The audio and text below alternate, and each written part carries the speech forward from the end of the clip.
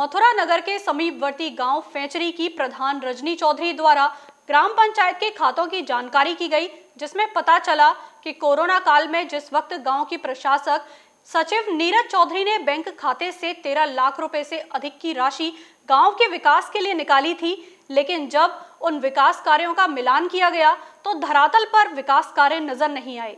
इस संबंध में ग्राम प्रधान द्वारा इसकी शिकायत मुख्य विकास अधिकारी से की गई। मुख्य विकास अधिकारी ने इसकी जाँच डीपीआरओ किरण चौधरी को सौंपी, जिस पर किरण चौधरी ने मौके पर जाकर ही जाँच करना प्रारंभ कर दिया। डीपीआरओ के पहुँचते ही गाँव में हलचल मच गई।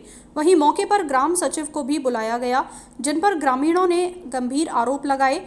वहीं दूसरी ओर ग्राम सचिव नीरज ने प्रधान पति पर कई गंभीर आरोप लगाते हुए मौके पर पुलिस बुला ली।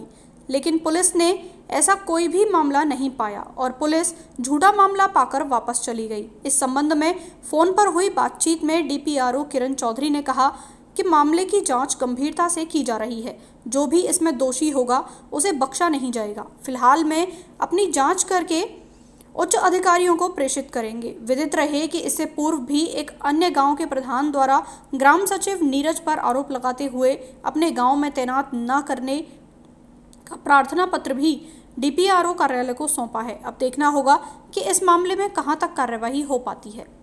मथुरा नगर के समीपवर्ती गाँव फैंचरी में तेरह लाख रुपए के मामला संज्ञान में आया था। इस संबंध में रजनी चौधरी द्वारा बताया कि बैंक से जब डिटेल मालूम की गई तो पता चला कि कोरोना काल में प्रशासक के तौर पर जो सचिव तैनात होते हैं, उनके द्वारा तेरह लाख रुपए निकाले गए और गाँव के विकास की बात कही गई।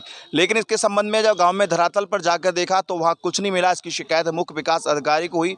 मुख्य विकास अधिकारी ने इसकी जाँच डी को दी। डीपीआरओ ने मामले को गंभीरता से लेते हुए गाँव में चेक किया और देखा कि क्या वास्तव में विकास कार्य हुए हैं। ग्रामीणों ने अपनी शिकायत भी दर्ज कराई। फ़िलहाल जाँच में क्या हुआ है क्या नहीं ये सब अभी गोपनीय है। लेकिन इतना तय है कि कोरोना काल में जिन जिन सचिवों ने अपने बैंक की खाती की राशि निकाली थी उनका वर्तमान प्रधान जो चुनकर आए हैं वो सत्यापन करा रहे हैं। देखना ये भी होगा कि, वास्तव में वो काम सत्यापित होते हैं या फिर जाँच के दायरे में लगातार चले आते हैं। अभी बहुत कुछ कहना संभव नहीं है लेकिन इतना तय है कि जो नए ग्राम के प्रधान चुनकर आए हैं वो फूंक फूंक कर कदम रख रहे हैं, क्योंकि उनका बस्ता कभी भी जमा हो सकता है। ऐसे में वो दिखाना चाहते हैं प्रशासनिक अधिकारियों को, जो पूर्व में पैसा कोरोना काल में निकाला गया, उसका कितना सदुपयोग हुआ और कितना दुरुपयोग। अपने साथी राय सोलंकी के साथ रवि यादव।